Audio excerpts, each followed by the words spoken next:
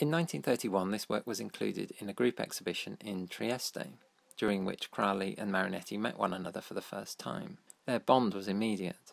It seemed like I had known him for years, Crali would later recall. He looked at me with a stern eye, examined my works, then smiled at me. It was as if a door had been opened and I had been invited inside.